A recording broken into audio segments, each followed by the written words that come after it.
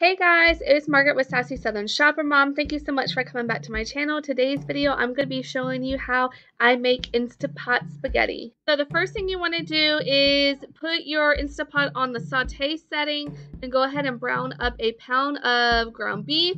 Then you want to add a half a teaspoon of salt, garlic powder, onion powder, and Italian seasoning.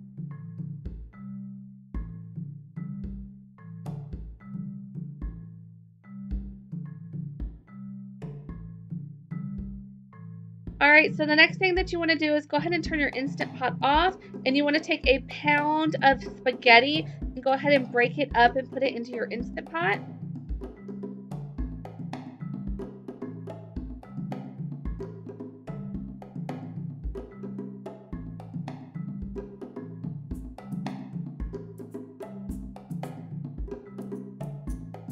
So you want to go ahead and pour in 24 ounces of spaghetti sauce of your choice. And then you also want to go ahead and add a 14.5 ounce can of diced tomatoes as well.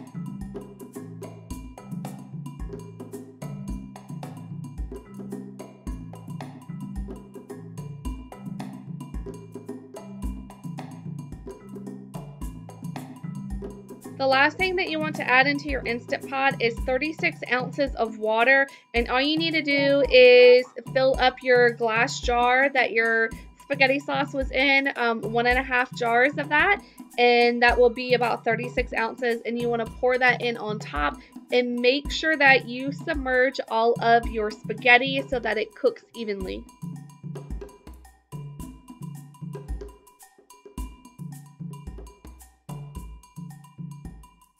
So the next thing you want to go ahead and do is put the lid on the Instant Pot and put it in the lock position and make sure that you turn your valve so the pressure will build up in your Instant Pot. To go ahead and get things cooking, you just want to hit the manual pressure cook button and make sure that it's in the highest setting and go ahead and turn that time down just to 8 minutes.